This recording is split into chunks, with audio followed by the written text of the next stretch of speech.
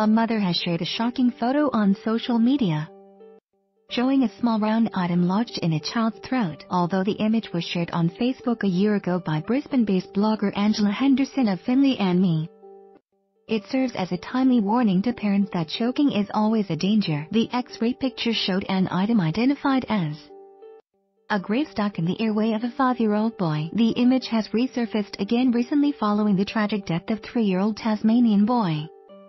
Albie Davis the toddler died March 2 after a small rubber ball became stuck in his windpipe. Ms. Henderson, a clinician and mother of two, Finley, 8, and Chloe, 5, originally posted the photo as warning to parents that kids could choke on anything, including fruit that wasn't properly cut up. Do you know what this x-ray is? It's a grape, a grape that was lodged in the top of a five-year-old's airway today. Ms. Henderson's post read, this sweet soul had to be operated on under general anesthetic to remove the grape.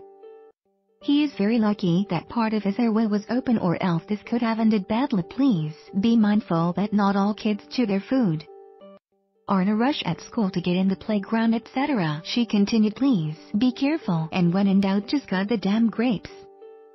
Baby tomatoes. Grapes are the third most common cause of death among children who die in food-related choking incidents. Speaking to Femail Ms. Henderson said as a parenting blogger she felt it was her responsibility to share a message that parents always need to be vigilant to the dangers of choking because choking on grapes is really high in kids aged under 7.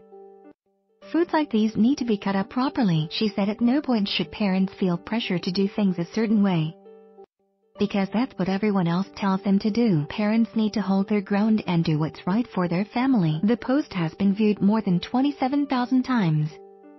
And parents everywhere have shared their own harrowing tales recalling similarly frightening incidents. One commenter wrote, I've gone on and on about the dangers of grapes for years and there are still people who care for my children while I am at work who won't listen to me and cut them. I have had a bad experience with a grape with my granddaughter I always cut them in half now. Another shared while a third added my greatest fear has always been one of my grandchildren choking.